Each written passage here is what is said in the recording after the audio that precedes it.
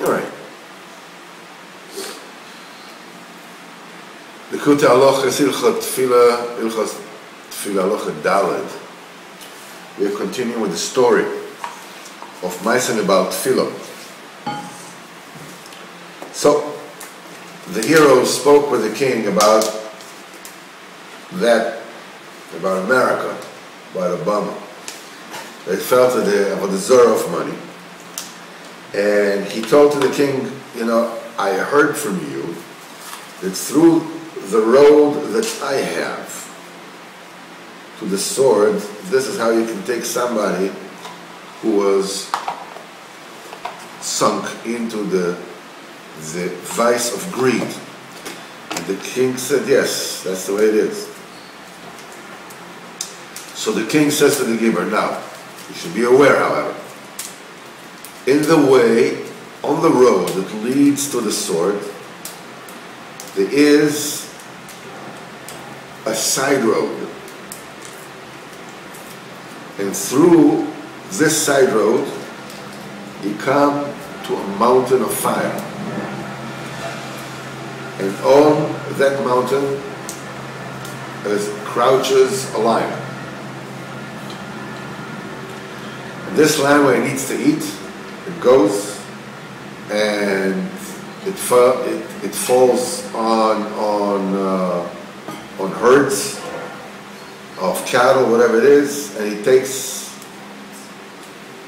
you know, it takes whatever it wants and it eats. Now the shepherds, they know of this, so they, they guard the, the, the, the cattle very much from it. But the lion doesn't care.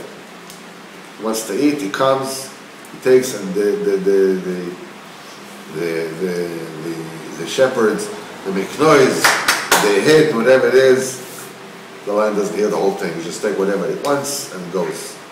It says, and this mountain of fire is totally invisible. And from the side is also another road. And this road, it comes to a place that it comes to a kitchen where food is being cooked. And in that kitchen, says there's all kinds of foods there. And in this, this kitchen, there's no fire whatsoever. The, the, so how does the food cook? It cooks from the fire, from the heat of the mountain of fire. Now the mountain of fire is very, very far. He says, but there are like tunnels and, and, and, and, and like, like meridians, like pipes from the mountain of fire to the, to the kitchen. And there, all these foods are being cooked. And this kitchen is also totally invisible. Only what? There's a simon, there's a sign that you should know this is where what because they are, there are birds on top of that kitchen. So that's how you know that it is there.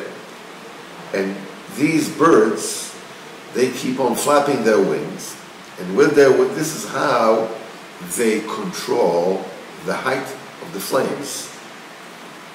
You know, they put it up, they put it down. And so it shouldn't be too much. Because certain foods needs that heat, and certain foods need that heat. So this is this is what what the birds do. This is what. So you should take these people that fell into the avodah zarah, to the idol worshipping of greed of money. First of all, you welcome against the wind. So then they will smell the foods. And then when you give them from the foods, they will throw away this vice of greed. That's what the hero took these people, you know, this, the billionaires, you know, took Zuckerberg and, and, and whatever it is, all these guys. Dropping names. Yeah, dropping names, which are gods in their country. And they came here with the, the Memuna of the treasurer. They came from the Medina with the Memuna. And the, the people of the of the of the of the Medina, they gave him, they gave these their representatives uh, uh, uh, a license that whatever they do, all the people in the Medina have to accept it. It's like their representatives, they're their ambassadors. If they any agreement they sign, whatever they accept, everybody else has to abide by. They can't. So this gibor took these people, and he took them to that road, and he took them all the way to the kitchen, where these foods are. And first, he took them against the wind. They smelled these foods, and they started begging him started begging him to give him for these unbelievable foods. You know, it's like they were salivating. And then he took him, you know, the, the other way with the wind. And he started screaming, there's such a stink over there. So again, he took him, you know, towards the wind. Again, got this tremendous smell of the foods. So again, they, they begged him, should give him the food. Again, he took him with the wind. Started screaming, there's a great stink going on here. So the hero told the people, you see, there's nothing here that should stink.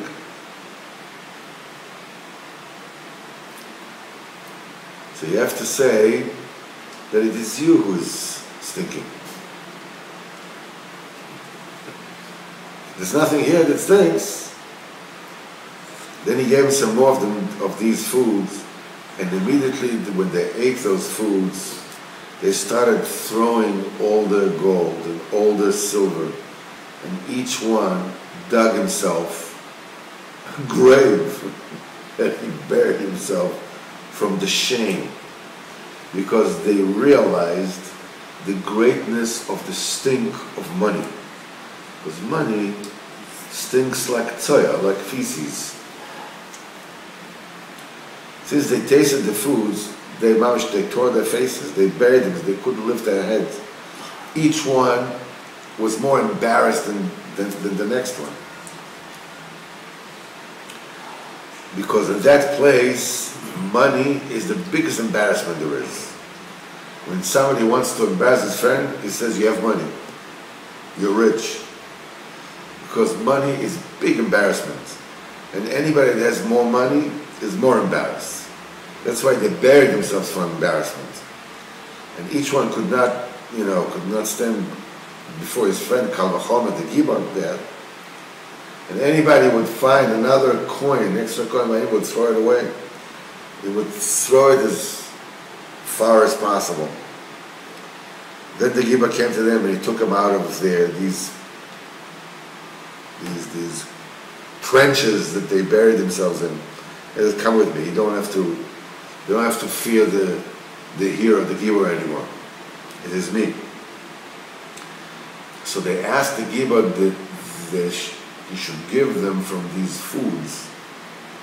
Should give them to to their land, to give to the people their land and the Vade, they will all, you know, be disgusted from, you know, from, from the money.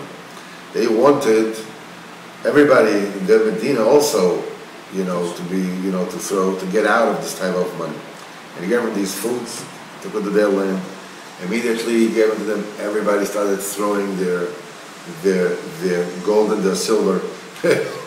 also buried themselves in embarrassment. And the more rich they were, the more embarrassed they were. And also the small ones that were considered like animals, they were also embarrassed. Until now they were small. Why? Because they had no money. Now they just found the dafka money. This, that's, that's the main busha. These foods, they have this gula, this propensity that anybody who eats from them, you know, he, money disgusts him because he feels the stink, the stench of, of, of money, mamish, like feces, a tin of mamish. So they all threw the idols of gold and silver, And then they sent Baal Tefillah over there, and he gave them chuvas and tikkunim, and purified them. And the king, you know, ruled, and all the oilom came back to Kodesh Baruch Hu, and everybody was oisik only in Torah and tefillah and tshuva and Amen, ken yehi ratzon, Baruch Hashem, Olam, amen, v'amen. There's some, you know, this, this, uh, there are a lot of different things that the, the, the Rebbe told us a little, a little psukim from whatever it is, from what is being dealt with with this particular story. But the actual, you know, what is actually going on here? You know, it's oilama, you know, shvira, the oilama tikkun, and, and, and, and, the whole, just Pella, Pella of a story.